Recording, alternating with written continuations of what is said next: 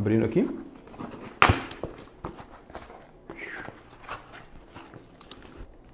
Então, pessoal, já estou com a caixinha na mão.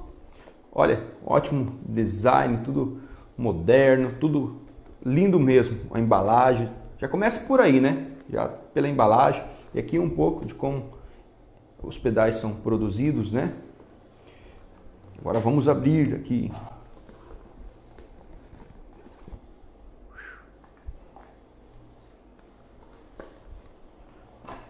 Olha o cuidado que eles mandam, pedal.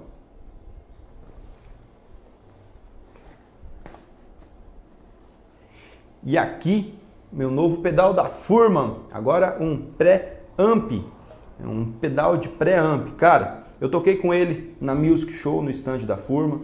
Se vocês não assistiram ainda o vídeo, assista aqui, ó.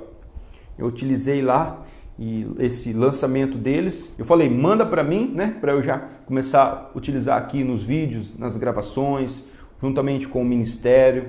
E eu vou explicar agora o funcionamento desse pedal, para que que serve. Cara, muito lindo mesmo. Parabéns, Furma, aí toda a galera, o Jorge, a Dandara. Show de bola mesmo, pedal. Olha, tudo muito lindo. Top mesmo. Produto de extrema qualidade.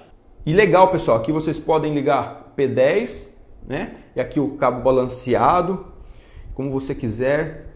Aqui tem os knobs, né? Do grave, do médio, do agudo. E o legal desse pedal é que ele também tem drive. Já vou falar para vocês do funcionamento, para que, que serve o pedal Bass Preamp, né? E já vou utilizar aqui na prática também. Primeiro, para que serve o preamp? O pedal preamp ele vai amplificar o som, né? O nome já fala. Ele vai amplificar, muitas vezes até colorir o som. Usa bastante é, para você ligar ele quando você vai tocar é, na sua igreja, ao vivo tal, você liga seu baixo no pedal e do pedal para a mesa. E muitas vezes, se o cabo é muito longo, né, você perde o sinal. Muitas vezes lá na mesa vai aumentar bastante o som do baixo para compensar, né? Aí nisso aumenta também os ruídos. Por isso que muitas vezes você usa um DI, o DI controla o som para chegar na mesa um som legal, de qualidade do baixo. Já o preamp tem a mesma função do DI, só que ele vai amplificar o som, vai ficar muito melhor. Tem gente que prefere DI, tem gente que prefere o preamp. O bom desse pedal é que é 3 em 1, ao meu ver. 3 em 1 por quê? Ele é um equalizer, né? Tem aqui, ó, para você mexer no grave, no médio e no agudo. E também tem o drive e mais o preamp. Então, você pode usar tranquilo aí na sua igreja, nas suas gravações, que nem vou utilizar aqui para gravar, né? Porque o som do baixo, principalmente eu uso o Fender, o Strimber, ele é passivo. Então, geralmente, o som do baixo já vai para a placa com pouco volume, né? Então, pedal ele já faz o som já entrar com qualidade, com força mesmo. E também para equalizar.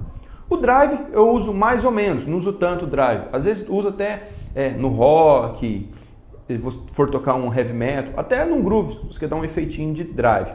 Mas eu uso mais pelo equalizador e para o som também, é, por causa do preamp, entrar com mais qualidade. Então, como vocês podem ver, né? Olha o design desse pedal, muito bem caprichado. Então, pessoal, ó, utilizar sempre cabos de qualidade para não ter chiado. Estou aqui com o cabo da Tecniforte, utilizando sempre cabos de qualidade para você não ter ruídos, nem chiados, estralos né, na gravação. Estou utilizando aqui ó, os dois cabos da Tecniforte, que para mim é o melhor cabo do Brasil aí. Só tem qualidade. Pessoal, aqui vocês vão ver, ó, está apagada a luzinha, né? O bypass está desligado. Então aqui você vai tocar, ó, o som vai estar do baixo mesmo, o som original, sem passar por aqui. Você pode até mexer aqui, ó, no, no grave, no médio, no agudo, qualquer coisa. Não vai mudar. Isso é se você quiser, por exemplo, está tocando ao vivo, tal, quer desligar o pedal, só pisar aqui no bypass. Então ligando, ó, vamos ver. O som já muda. Pode ver, o som fica um som mais definição. som mais vivo, pessoal. Você mexendo aqui, ó, no grave, ó, aí já começa a fazer mais efeito, entendeu? Diminui o grave. Deixa aqui 50%. O baixo está tudo, né, no 100%. O captador do braço, o captador da ponte e o tom, tudo 100%, tudo ligadinho. Aqui, ó, né, tem o médio, o agudo. Se você quiser mais agudo, quiser mais peso.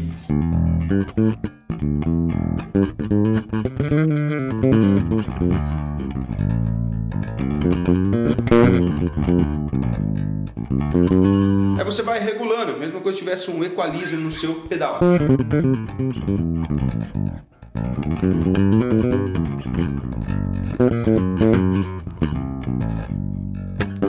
E agora vamos para a opção do drive. Como ligar o drive aqui? Se você tocar, ó, você pode mexer no drive, não vai acontecer nada.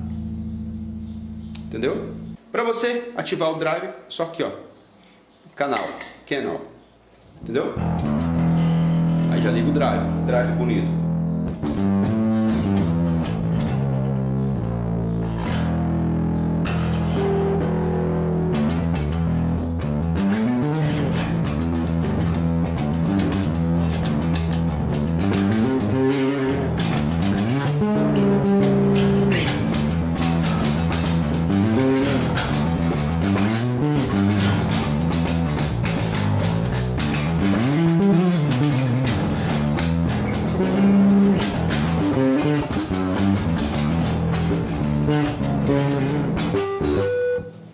Aqui em Clean Level você regula né, o nível do som limpo do baixo.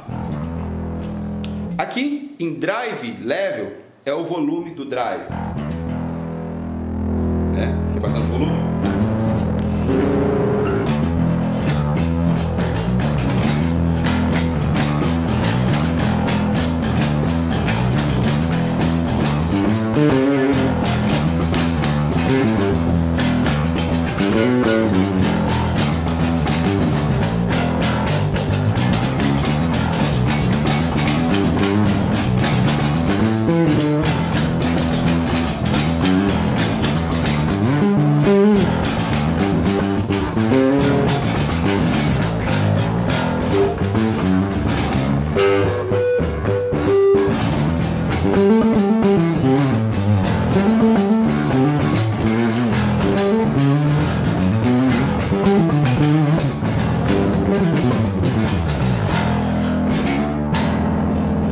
Aqui em drive ganho, você vai aumentar o ganho do drive, ou seja, que bastante drive, não vai mexer no volume, vai mexer no ganho do drive.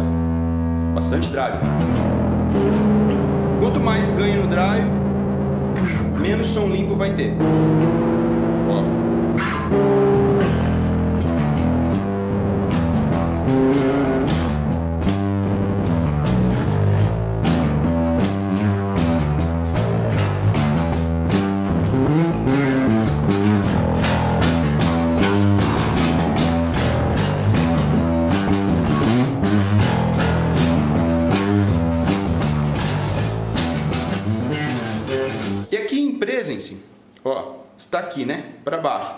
botão, né? Então aqui está com tanto de agudo, ó, o som. Aumentar. Viu? Ele acentua o nível das frequências agudas. Para harmônico mesmo. Ó, diminuir. Aumentei. Quer mais agudo então? Seu baixo tem falta de agudo, deixa ele sempre aqui para cima, né? Vou deixar aqui no meio. Mas André, eu quero utilizar mais o equalizador dele, né? Para tocar nas gravações ou tocar é, na igreja, às vezes, né? Baixo fica longe da mesa, um cabo aí perde a força do sinal. Ou também, se você usa um cubo, né? Um amplificador, mas você quer ligar no amplificador também o pedal excelente. O som vai vir com mais força, com mais definição. Aí você só toma cuidado para não ficar né, muito volume, para não saturar. Para desligar, só aqui ó, channel, né?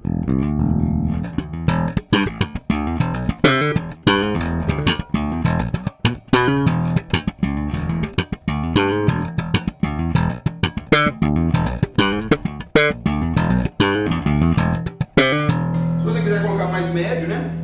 Por exemplo, esse baixo aqui é um baixo passivo, não tem médio. Mas que, que acontece? Esse pedal, o preamp, é a mesma coisa se eu tivesse aqui um circuito ativo no baixo.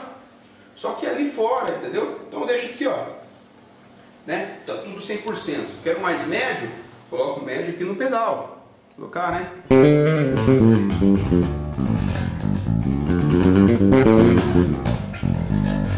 né? Legal utilizar o médio com o captador da ponte também, né? Ó. Vamos lá.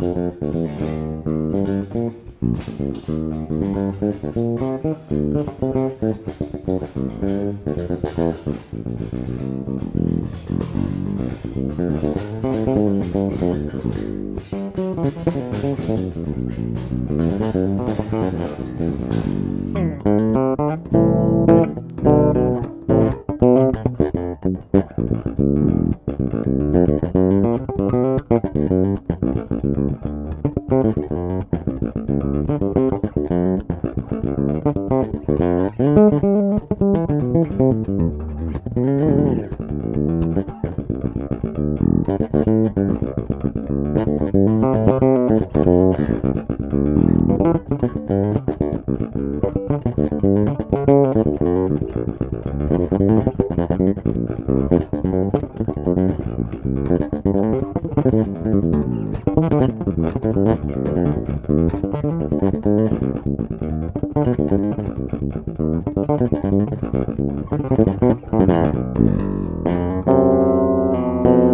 é isso aí pessoal, espero que vocês tenham gostado. Eu vou fazer mais vídeos aqui explicando mais funções do pedal Bass Preamp da Furman, né? Essa foi, foi a primeira impressão que eu tive dele e ainda vou regular melhor, deixar ainda mais fera, mais top. Vou postar vídeos aqui, então fique atento no canal. Ative o sininho, compartilhe com o máximo de pessoas que você conseguir, aquele seu amigo que você sabe que quer tocar melhor baixo, que quer aprender mais dicas, pedal certo para você estar utilizando, né? Os pedais da Furman de excelente qualidade, vem para somar para nós baixistas, ter sempre um som de qualidade. Então compartilhe esse vídeo com os seus amigos. Se quiser só no website dominabaixo.com.br ou no WhatsApp 43 998 18 39 34 ou no e-mail baixistonline.gmail.com. E essa semana tem mais vídeo, pessoal. Isso aí, vai de Furman que você não vai se arrepender.